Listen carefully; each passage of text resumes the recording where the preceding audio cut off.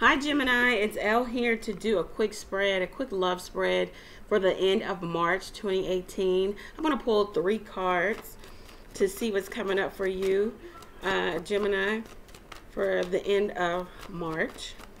Thank you, thank you, thank you for three cards for Gemini. Three cards for love for Gemini. Three cards. Two of Cups. Thank you for the energy for Gemini in love. Gemini, end of March.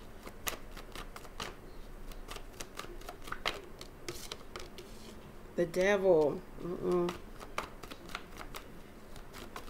Serenus or Serenonus. Yeah. That's the devil card. So we got two cups, the devil and the world.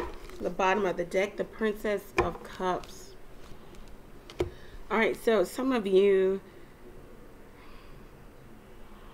in the midst of an established relationship, it might be karmic here with the devil. There might be codependency. Uh, there could be another person, a third person. Uh, with um, the devil in the world. What this says is that you know, the world is here. We've got all four elements there with the world. So that means you've gone as far as you can go. You, you should have learned your lesson in this relationship, Gemini.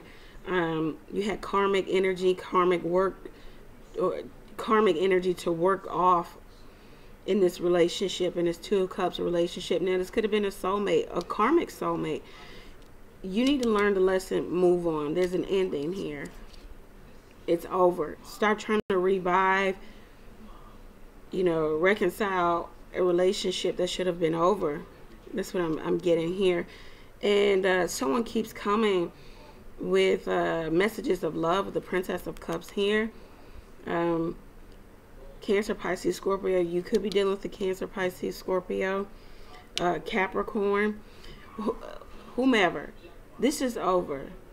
Uh, they may come with messages of love just to keep you on the hook because you guys have established this together the ten of pentacles a life together. But look the cards want to tell you you might need to be the nine of pentacles the single woman or single man in waiting because there might be someone who wants to offer you something very solid and long lasting so gemini that is your reading if you're in a and if it if it resonates it resonates. If it doesn't just move on. But if you know you're in a karmic situation it should have been dead a long time ago. Let it go. Walk away. There's newness elsewhere. Um, if you do the work first let this go. All right? So gemini if you feel like you need a personal reading please email me at tarotofelle at gmail.com uh, follow me on InstantGo. Follow me on instagram. Everything you need to know about how to get in contact with me is in the description box. All right. So, Gemini, remember, when in doubt, pray. I'm praying for you. Pray for me as well. I'll see you guys in April. All right. Take care.